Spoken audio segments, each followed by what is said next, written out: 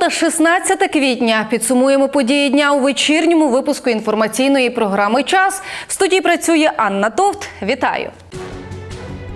Депутатські рішення, сесія райради, аеропорт Ужгород, візитівка Закарпаття. Ніде ховати, кладовище на городі, допомога в ліквідації, наслідки негоди, школа ендокринолога, вберегти від хвороби, розвиток талантів, творчість дітей. Надія Савченко перебуває в критичному стані. Етапувати її вкрай небезпечно. Це може призвести до летального наслідку. Про це заявила лікар Валентина Череватенко. Вона розповіла, що у Савченко спостерігається значна втрата ваги, пісок та білок у сечі, а на руках залишилися рани від крапельниць. Також Надія постійно питає про сестру і чекає зустрічі з нею. Нагадаю, 15 квітня Віру Савченко не пустили до Надії.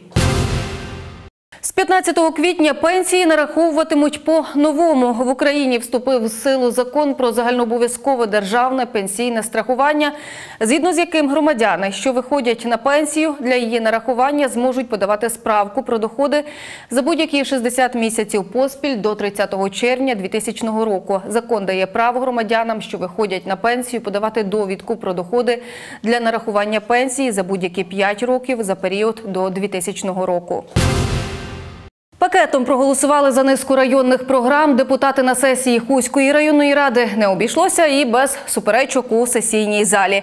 Мова про земельні питання. Які рішення ухвалили обранці? Дивіться в сюжеті. Розпочалось засідання четвертої сесії Хуської районної ради сьомого скликання з представлення новопризначеного заступника голови Хуської РДА Василя Лепчія. Далі послідувало звернення до депутатів щодо від'їзду в зону АТО, яка відбудеться наступного четверга. Бажаючих закликали долучитись, зібрати для бійців необхідне. До слова, в засіданні взяло участь 22 обранців з 36 і вперше голосували поіменно. Насамперед озвучили ряд депутатських запитів та звернень. Мова йшла й про ремонт доріг і відкриття в районній лікарні відділення гемодіалізу. За всі питання проголосували пакетом. Серед питань порядку денного внесли зміни та доповнення до регламенту роботи райради. Далі перейшли до питання погодження надання в користування окремих мисливських угідь. Погодили не всі. Відмовили громадські організації Закарпатського товариства мисливців та рибалок лісівник, що знаходиться на території Вишківської селищної ради. Делегованому представнику слова так і не надали. Рішення, про яке ну, я зобов'язаний сказати.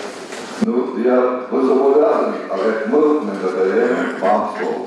Після обранці заслухали інформацію прокурора щодо стану злочинності та додержання вимог законності на території Хуського краю протягом минулого року. У 2015 році було опубліковано 729 кримінальних правопорушень. Інформацію взяли до відома, проте й тут не обійшлось без дебатів. У вас моє кримінальне провадження знаходиться рік, і відповіді немає. Ті люди чинять злочини донині, і ви не розбираєтеся.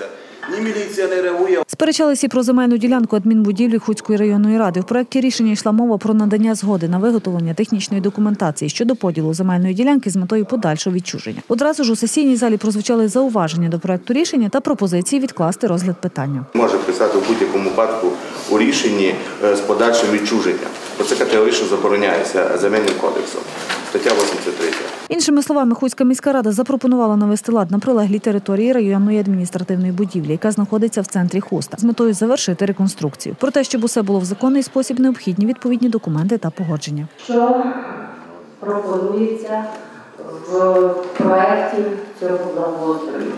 Нічого особливого, крім заміни старої тропінки, заміни бордюрів, е, покладення лавочок новеньких, е, освітлення, світильники, е, мусорні сміттєві баки, висадження зелених насаджень квітів. Відділ містобудування та архітектури свою пропозицію по розподілу землі, що надалі лишається в користуванні райради, зобразив і схематично. Проте в результаті обговорень депутати районної ради прийняли зрештою рішення дане питання відкласти на наступну сесію. Далі ухвалили низку районних програм, до окремих внесли зміни, голосували пакетом. Відкоригували районний бюджет, затвердили перелік населених пунктів району, де в цьому році планують встановити та облаштувати спортивні майданчики зі штучним покриттям та перейменувати село Велятин на Велятину. І насамкінець йшлося про роботу управління Держгеокадастру у Кузькому районі. Мали заслухати звіт начальника, проте той не з'явився на засідання, прислав відписку, пояснення про неявку. Це обурило депутатів. Була навіть пропозиція визнати роботу управління, в тому числі й самого начальника, незадовільною, і направити відповідні звернення як в область, так і в Київ.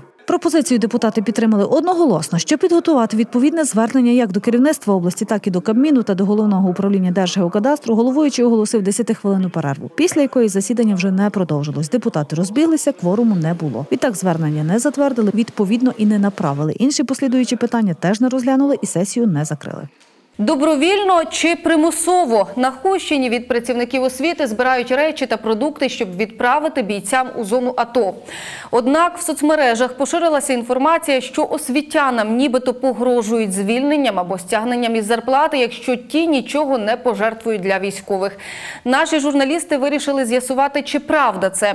І як виявилося, в одному з офіційних листів, адресованому усім директорам загальноосвітніх шкіл, йдеться про те, що до 15 квітня поточного року за дорученням відділу освіти Хуської РДА для воїнів окремої 128-ї гірсько-піхотної бригади Закарпатської області організувати збір і далі перечислюють, які саме речі потрібно зібрати освітянам і за яку суму. Однак розіслали такі листи в освітні установи чомусь із Хуського районного центру позашкільної роботи. Колись візитівка, зараз ласий шматок. В обласному центрі триває боротьба за землі аеропорту, єдиного в Закарпатській області. Річ в тім, що колись гектар литовища незаконно передали у користування людям, які довгий час стояли в черзі за земельними ділянками. А потім ці ж гектари знову перепродали іншим особам за чималі кошти. Детальніше Мар'яна Мартин. Колись це був один з найпотужніших аеропортів країни. Найбільше літаків приземлялося саме тут. Сьогодні ж міжнародний аеропорт все, чим може похизуватися, то це новенькою рамкою. Є три режими. Якщо, наприклад, спрацьовує е, режим металу, що людина є щось металічне, воно засвідчує конкретну зону, є чотири зони. От. Потім йде, якщо така випадкова тривога режим, тобто в рамках всі датчики показують зверху донизу про те, що людину теж слід перевірити. Аеропорт тимчасово не працює, проте з наступного тижня один єдиний рейс Ужгород-Київ таки розпочне курсувати. Поточні розходи фактично на заробітну плату, на проплату комунальних послуг і платежів, які було аеропорт на себе заробляв. Дійсно, аеропорт не може заробити, так як будь-який аеропорт, на реконструкцію, на якісь капітальні вкладення. Аеропорт вже багато років зберігає статус нерентабельного та дотаційного підприємства. Як мене запевнив, ну і він був на президії перед засіданням останньої сесії обласної ради. Був керівник цього комунального підприємства. Він запевнив, що з відновленням роботи з польотів буде забезпечено виплату заробітної плати за рахунок тих коштів, які будуть їм поступати. Все, на що заробляють, то це на зарплату. Хоча бувало й таке, що місяцями доводилось чекати грошей. За роки майже жодного капітального ремонту всередині, проте злітну смугу протяжністю у 2 кілометри намагаються тримати в порядку. Потреба всю усе є. От, наприклад, у прошлому році закінчили проведення, були виділені кошти на маркировку і частковий ремонт на злітко-посадковій смузі, яке було виконано, і злітно-посадкова смуга пригодна для прийняття і обслуговування повітряних суден. Говорячи про причини кризи на підприємстві, заступник начальника, який має стаж роботи на підприємстві більше 30 років, каже, не знає, чому так. Адже Ужгород – туристичний край. Переконаний, якби були рейси з півдня чи то сходу країни, бажаючі би знайшлися. Вдосталі туристів з області, які залюбки відправляються на курорти в далекі краї. Проте міжнародні рейсові компанії неохоче співпрацюють з Ужгородським литовищем, і це не дивно. Більше кілометра від злетної смуги, там розташований радар. Будуватись біля нього не можна у зоні 150 метрів. Проте, як бачимо, громадян Ужгороду це абсолютно не турбує. Окрім того, що ці будинки розташовані на межах радару, не дотримані тут і норми відступу від злітної смуги, каже пан Валерій. Міська рада на чолі з колишнім головою Ратушняком роздала землі, що числяться в санітарній зоні аеропорту, а жителі, що їх купили, нехтують забороною на будівництво, порушуючи всі стандарти безпеки. Відтак зрозуміло, чому відомі компанії не мають бажання співпрацювати з аеропортом, тим самим наражати на небезпеку своїх пасажирів. Це є небезпека, просто-напросто буде заборонені польоти. Ні одна авіакомпанія не прилетить на даний аеропорт. Аеропорт єдиний у нас в Закарпатській області. Це ворота, можна сказати, і візитна карточка Закарпаття. А от ви особисто в аеропорт, як вони не, зверталися там до прокуратури стосовно цих будинків? Постійно і, і всюди. І робилися не один раз судові, е, ну, судові процедури проходили, суди проходили. Якщо треба, можна офіційно зробити запит, вам нададуть з ким, де і куди е, проводилися. Ну це проводили в основному е, ну, бувша транспортна прокуратура, вона відповідає за будівництво, ну, за контроль будівництва природної території. Журналісти М-студіо відправили запит до прокуратури стосовно порушених справ проти будівельників чи то міської ради у 2008 році. У прокуратурі запит переадресували до поліції, а ті, в свою чергу, написали кримінальних проваджень нема. Зі слів представників аеропорту, справою займалися саме вони в прокуратурі. Про це запевняють і в міській раді. Також про це свідчать матеріали, віднайдені в пресі за 2009 рік. Кладовище у кінці двору господарства – проблема його власника. Так вирішила громада села Буковець, що на Міжгірщині. Родина Воробець не може приватизувати свою земельну ділянку, на якій з 1918 року проживали їх предки, бо вона не відповідає санітарним нормам. А розширяти територію кладовища прямо над городом – без проблем. Достукатися до жителів та голови села сім'я не змогла, аби вирішити проблему по-людськи. Тож звернулася по допомогу до журналістів журналістів. Невелике село Буковець на Міжгірщині, а має три кладовища. Одне з них на початку села, де історично нижня частина громади ховала своїх рідних. Біля цвинтаря близько ста років проживала родина Воробець. Але без попереджень ні з того, ні з цього група односельчан у 2014 році зібралася і розширила, обгородивши сіткою межі кладовища прямо над хатою у кінці двора. Я маю право користуватися з такими правами, як і всі громадяни. Ніхто б із цих жителів, що тут е, це пригородили, не хотів би кладбище над своєю хатою. Ну це просто не знаю, іздівательство. У хоч у старому кладовищі ще місця хватає доста. Протягнули сітку, казали, взагалі воно має бути аж там, чуть ли не понад усіх і так далі. Ну, тут вода і нам, вона і огород. То все з мертвих проникає, я не знаю, як. Є якісь норми санітарні, наскільки я знаю, 300 метрів має бути до будинків взагалі чи 500. Виявилося, у 1994 році сільська рада затвердила рішення про розширення кладовища. Тоді на той час продовжили там клад- кладбище. От зараз Марія Федорівна звернулася з цим питанням, що там їй порушуються вимоги. Фактично порушуються вимоги. 300 метрів від жилого будинку мають бути вимоги. Ну а що я зроблю? Була по цьому, по цьому питанню, було, ми виносили питання на сесію, ми збирали громаду села, вона була присутня. Ну, я не можу писати то, я лише можу то писати, що громада вирішує. На громадських слуханнях у лютому цього року пані Марія намагалася переконати громаду села розширити територію кладовища не над її будинком. Від мого будинку до кладовища 35 метрів. І я користуюся водою, п'ю воду. У мене є внуки, діти. Я не знаю, як мені далі тут жити і як я маю. Хай тоді мене переселять, куплять мені десь будинок, я віддам всю цю землю, хай мені перенесуть будинок, я перейду в друге місто жити і хай буде кладовище. Я нічого не маю проти. Жінці не вдалося дійти компромісу, і громада вирішила, кладовище хай там залишається. Виявилося, знайшлися активісти, які ходили по селу, збираючи підписи. Та що там звертатися, я вас прошу, сплошна корупція, от тітка депутат, е, плем'янник, голова сірад, там е, районний депутат, Уйко, братстри і так далі. Чого звертатися? Толку не буде ніякого. Вони казали, ніби рішення якесь прийняло. Яке рішення мали попереджати народ, коли та сесія була, яке рішення, на основі чого, де воно, самі собі видумали, написали і просто людей залякували. Сказали, що підписуєш, якщо не підписуєш, то може забути дорогу до сільради, типу ми тобі не дамо довідку там і так далі. Ну так, котрі люди не мають своєї голови, звичайно, вони підписали. Ну а дехто навіть взагалі не розуміє, що він підписує. Їм сказали, типу, щоб було кладбище, і все на тому. І люди взяли, підписали. Землемір. І сказала, да, да, ні, ні. Я її запитала, які де межі, покажіть мені конкретно межі, котрі де, сюди, скільки, туди, скільки. Вона, а, та, десь туди, десь туди, так, ну, куди туди. Зрозуміло, б'ють на сполох люди, яким у разі паводку у двір попливуть трупи. А свіжі могили на новій території вже з'явилися. Але ми вирішили поцікавитися думкою і інших жителів. Та дивіться по других селах. У Міжгір'ю це ходе, кладбище є 100 метрів, 20 метрів. Якщо було кладбище, воно і буде там кладбище. Там це хоронили, а що мені до того? Мені до того нічого.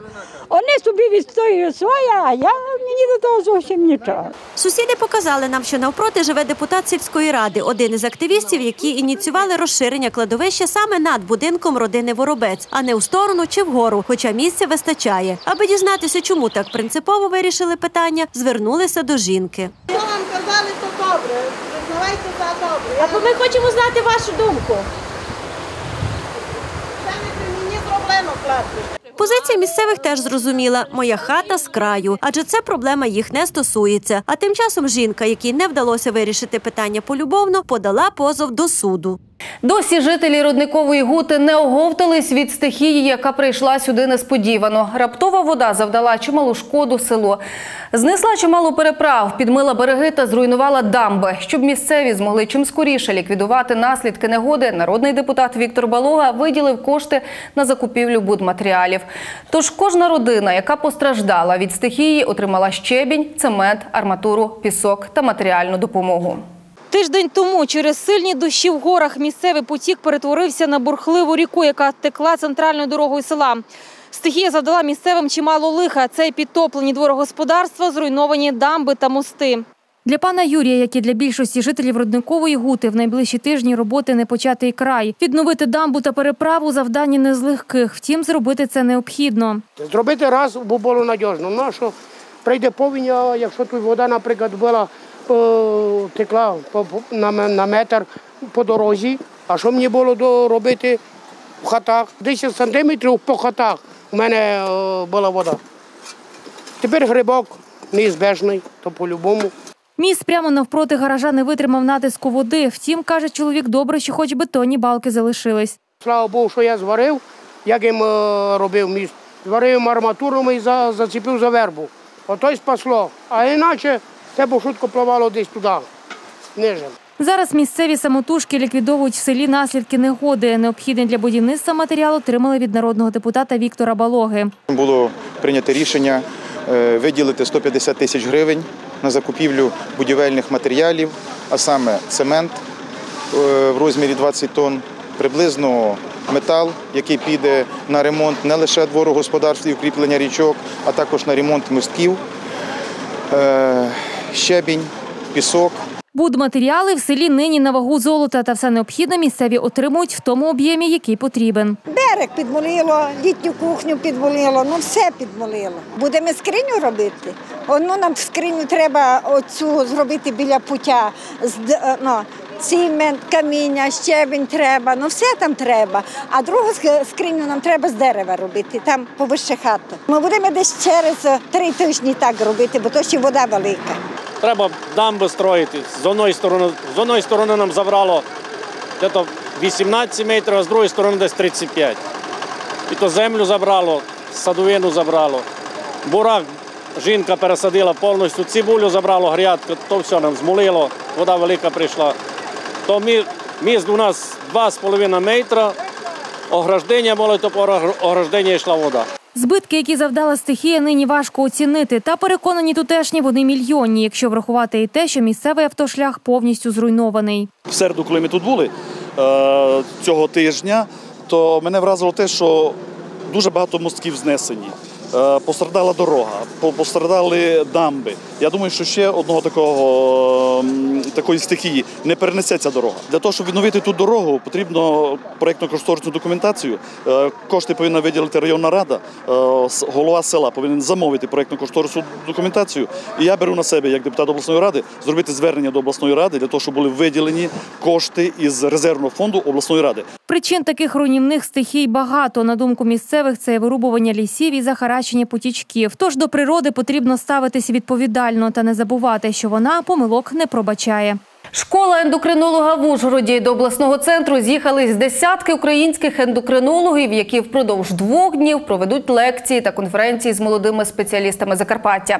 Яка мета проекту розповів директор інституту ендокринології та обміну речовин Микола Трунько. Для підвищення кваліфікаційного рівня інститут ендекрології та обміну речовин започатковує науковий проект Школа ендокринолога 2016 У рамках проекту кращі ендокринологи України проводитимуть конференції та лекції для молодих спеціалістів. Стартував захід із Ужгорода, куди з'їхались до сотні ендокринологів з усієї України. До цієї школи будуть залучатися Ну, в основному люди до 35 років.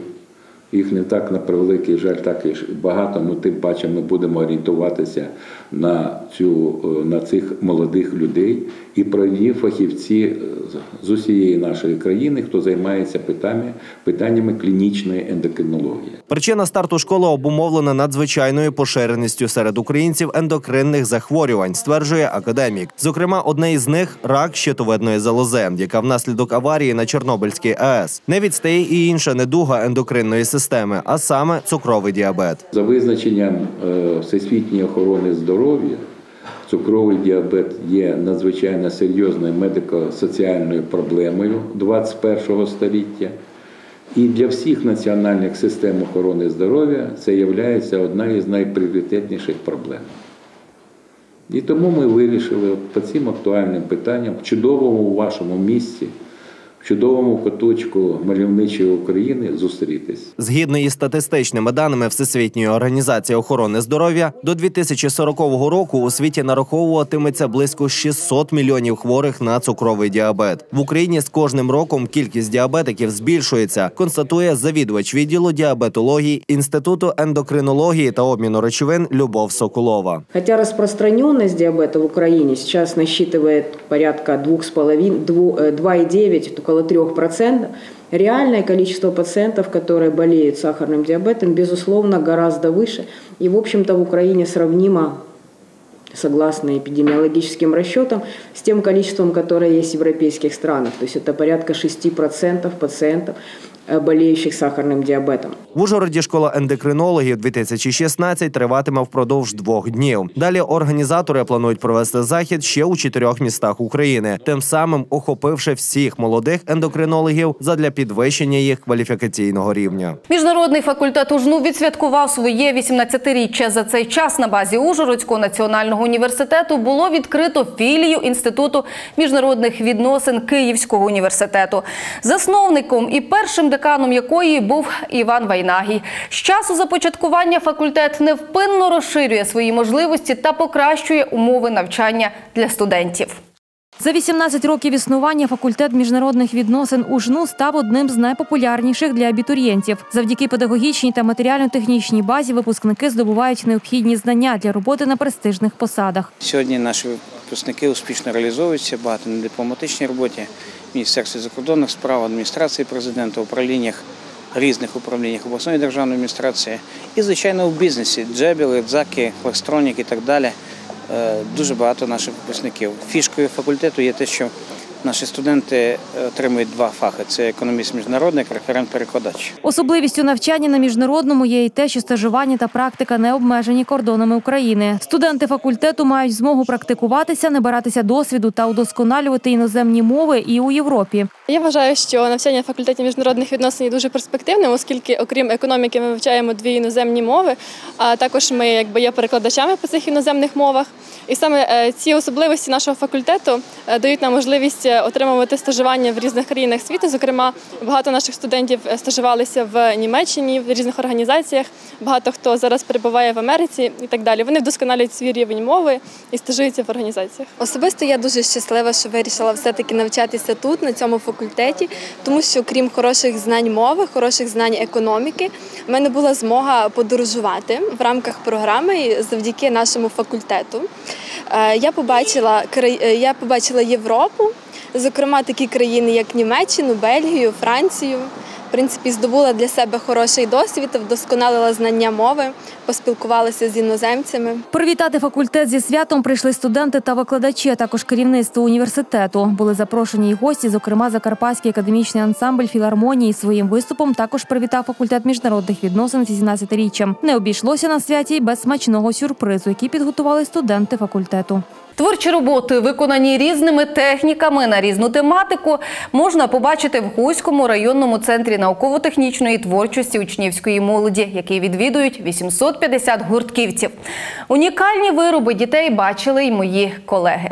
Від таланту до майстерності саме за таким принципом працює Хуський районний центр науково-технічної творчості учнівської молоді, де діє велика кількість гуртків, на яких школярам допомагають відкрити та вдосконалити свої здібності. Наш центр працює вже багато років. Кожен рік збільшується тільки число гуртківців. На даний момент у нас є е, 850 гуртківців. Е, Працюють керівників гуртків, які працюють за сумісництвом, і постійних керівників гуртків у нас є декілька.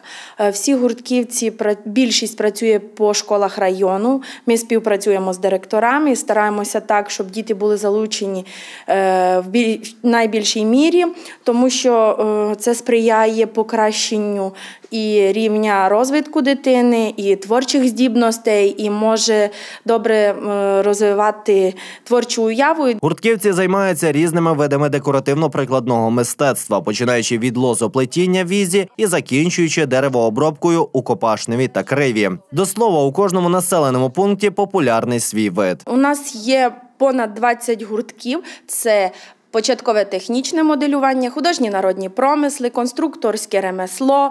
е, Потім маємо образотворче мистецтво, маємо лозоплетіння, народна творчість, автомодельний гурток і авіамодельний. Потім роблять повітряні змії. І судномоделювання це сокирницька школа. Гуртківці центру неодноразові переможці та призери різноманітних конкурсів, виставок різних рівнів, у тому числі всеукраїнських. Зокрема, в минулому році ми маємо 11 таких призерів. Відзначилися гуртківці, які працюють на базі Копашнівської школи перших третіх ступенів у гуртку автомодельний. Е, Маємо Переможці всеукраїнських масових заходів. Е, Ця справа, це ремесло продовжує жити у нашому регіоні. І е, відрадно те, що учні е, прикладають максимум зусиль, максимум часу і займаються у гуртках. І те, що вони проявляють свої таланти. Керівники дуже талановиті, обдаровані люди, які всі повністю присвячують себе своїй справі. Також вони намагаються донести прекрасне до нашого підростаючого покоління. Найменші гуртківці е, переважно працюють у початковому технічному моделюванні. Е, Тут вони тільки починають е, працювати із ножицями, папірем. Самі е, прості і легкі маніпуляції роблять, але воно приносить е, все свої результат. При центрі діє виставка дитячих робіт на постійній основі, яку час від часу поновлюють. Дані виставкові зали створюються вже понад 10 років. Спочатку це були маленькі кімнати, але потім е, ми створили такий музей дитячої творчості, де кожен рік оновлюються експонати. Е, Старі експонати ми віддаємо керівникам гуртків е, і повертаються в гурток, а все нові і нові, які займають призові місця в районі, області і всеукраїнські, повертаються сюди, сюди безпосередньо в зали. Кількість унікальних виробів надзвичайно велика. Їх ледве вміщають три виставкові зали центру. Рожеве місто, екзотичне дерево, яке добре прижилося в краї, стало символом весняного пробудження для місцевих. Дедалі частіше японську вишню можна побачити і в садах тутешніх жителів. Про те, як доглядати за сакурою, дивіться у сюжеті. Першу сакуру на Закарпаття привезли з Австрії майже століття тому. Дереву сподобався наш помірний клімат та ґрунти. Відтоді японська вишня для краян стала символом весняного пробудження. З кожним роком у Мукачеві кількість сакур збільшується, аби дерева і надалі радували містян та туристів. Про них потрібно піклуватись. І при наявності грибка обов'язково обробляти різними хімічними речовинами. Якщо е, саджанець невеликий, так як, наприклад, оцей зараз, його можна навіть механічно.